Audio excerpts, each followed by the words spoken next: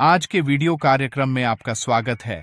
आज हम भारत में राजकोषीय संघवाद की पुनर्कल्पना विषय पर चर्चा करेंगे। एकात्मक सिद्धांतों की ओर झुकाव वाला भारतीय संघ दशकों से संघवाद और राजकोषीय संघवाद में संतुलन बनाए हुए है।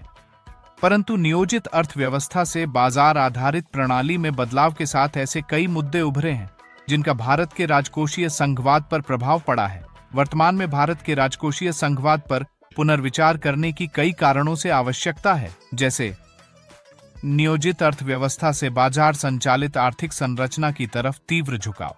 तिहत्तरवें और चौहत्तरवें संवैधानिक संशोधन के बाद दो स्तरीय संघ से बहुस्तरीय राजकोषीय ढांचे का विकास, योजना आयोग को प्रतिस्थापित करके नीति आयोग की स्थापना करना, राजकोषीय उत्तरदायित्व और बजट प्रबंधन एफ़ अधिनियम का अधिनियमन। माल और सेवा कर जीएसटी अधिनियम को लागू करना, जिसका नियंत्रण जीएसटी परिषद के पास है। उपकर और अधिभार पर बढ़ती निर्भरता विभाज्य पूल के आकार को प्रभावित कर रही है।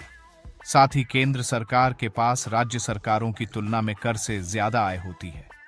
केंद्र सरकार कुल करों का लगभग 60 प्रतिशत एकत्र करती है, जबकि इसकी व्यय ज़िम्मेदारी कुल सार्वजनिक व्यय का केवल 40 प्रतिशत ही है। देश में अंतर सरकारी राजकोषीय संबंधों की प्रणाली काफ़ी जटिल है। राज्य सरकारों के व्यय और राजस्व सृजन की जिम्मेदारियों के बीच निरंतर बढ़ता असंतुलन इसे और जटिल बना रहा है। यद्यपि यह असंतुलन आंशिक रूप से राजस्व साझाकरण समझौतों द्वारा कम किया गया है, फिर भी राज्यों का घाटा बना रहता है। परिणाम था अर्थव्यवस्था की संरचना में बदलाव और राजकोषीय स्वतंत्रता के लिए राज्यों की बढ़ती मांगों के संदर्भ में राजकोषीय संबंधों का पुनर्मूल्यांकन अनिवार्य हो गया है भारत को राजकोषीय संघवाद की चुनौतियों से निपटने के लिए संवैधानिक उपायों के साथ केंद्र राज्य के बीच सहयोगात्मक रवैये की आवश्यकता है साथ ही इस हेतु निम्न कदम उठाए जाएँ। ऑफ़ बजट वित्त पोषण में पारदर्शिता और जवाबदेही सुनिश्चित करना सरकार के दोनों स्तरों के लिए महत्वपूर्ण है। ऑफ़ बजट उधार वे ऋण हैं जो सीधे केंद्र द्वारा नहीं लिए जाते हैं, बल्कि केंद्र सरकार के निर्देशों पर अन्य सार्वजनिक संस्थान द्वारा लिया जाता। चूँकि ऋण की देनदारी औपचारिक रूप से केंद्र पर नहीं है, इसलिए ऋण को राष्ट्रीय राजकोषीय घाटे में शामिल नहीं किया जाता। पारदर्शिता और सार्वजनिक जवाबदेही को कायम रखने के लिए संघ, राज्यों और स्थानीय सरकारों द्वारा सभी अतिरिक्त बजटीय लेन देन का पूर्ण प्रकटीकरण आवश्यक है। भारत की अंतर सरकारी हस्तांतरण प्रणाली को वंचित वर्गों की प्राथमिकता के आधार पर संचालित करना चाहिए।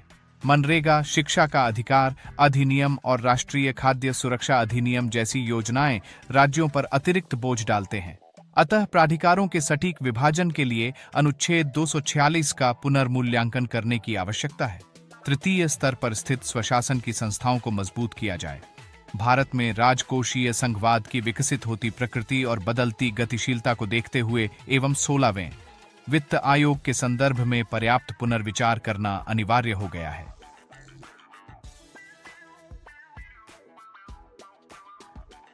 धन्यवाद।